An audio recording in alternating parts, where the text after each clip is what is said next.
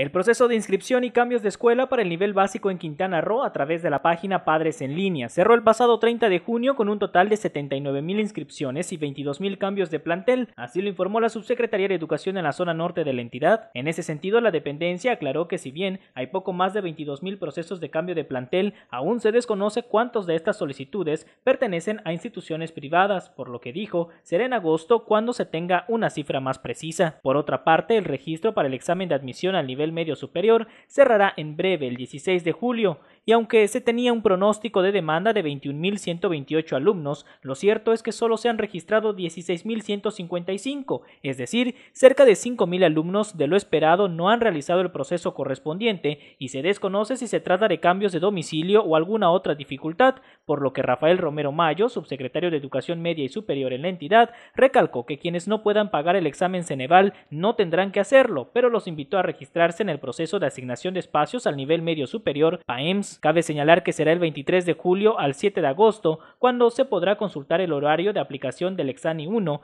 y las listas de registro, mientras que las fechas asignadas para la prueba serán el 8 y 9 de agosto para dar resultados el 26 del mismo mes. Con imágenes de Kevin Rodríguez, Luis Más, Notivisión.